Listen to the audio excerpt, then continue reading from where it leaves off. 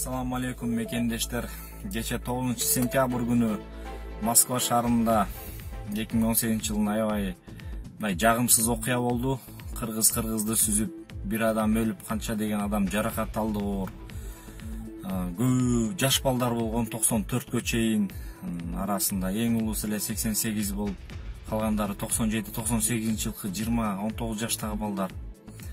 2001 жылкы дагы балдар бар арасында эми ушул балдардын баарысы кафеден чыгып ушул эртең менен ушул кафеден бир кыз кыздын айынан болгон нерседен ушул жаман үрөйгө учуратып атат. Бул өздөрү эле учурабастан бүт кыргыздын баарысын ошол жака мындай жаманатты кылып атат да.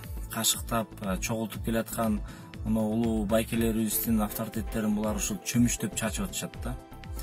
Эми буларга кимдер күнөөлүү ким күнөөлүү? Кыргыз өзү күнөөлүү. Мына москвадагы кыргыздын диаспоралары күнөөлүү. Ошол кафелерди өздөрү ачып аткан аксакалдар кеңеши күнөөлүү. Жанагынтип бирок баарысын жаман дебейм арасында жакшылары да бар. Бирок арасында ошол кафе клубду ачып ошолорду жинди кылып аткан ошолорду бузуп аткан ошол өздөрү. Анан ушул улуу урматтуу ушул э, келип аткан ырчыларга да айтып кетет элем. Ар бир кафенин ачылышында келип ушинтип силер келип э, реклама кылып кетесиңер жаштарды чакырып келип концерт коюп ушул жерден ошол силер кеткенден кийин канча деген жаш кыздарыбыз балдарыбыз барып ошол клубтан бузулуп атышат бири бирин өлтүрүп атышат мен суранат элем ушул ырчылардан ушу атактуу баштуу ырчылардан ушу келсеңер дагы бир концерт коюп келсеңер ушундай клубтардын ачылышына келбесеңер деп айтат элем да. Анан экинчиден дагы мына бөлөк улуттар дагы ушул кыргыздар ушинтип ичип жейип ушунчалык бир бытпарастыкка бараарын ушул кафе клубка акчасын аябай кетирөөрүн билип туруп ушул клубтарды ача баштады. Кыргыздын жанагындай бир акча үчүн сатылган администраторлорун коюп коюп. Анан ушул айта кетмекчимин. Э, мына эки жыл мурун эскертишти эле мекенчи элдин балдары. Ушундай ушундай э, жапкыла кафелерди деп. Аларга дагы каршы чыктыңар эле мына канча деген адам өлүп атат. Дагы адамдар бизде адамдар өлүп канчасы кырылып калмайынчакты законду кабыл албайт. Мына көбүнчө жаш болуп атат жаш кыздар болуп атат.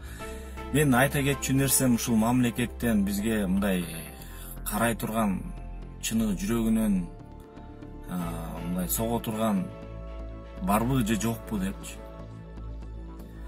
Жаш кыздарды жаш балдарды жөнөтпөгүлө. Мейли балдар келсин жаш балдар. Ошол кыздар келгенде ошолордун айынан барып атат да ошо кыздар баруу үчүн барып атат.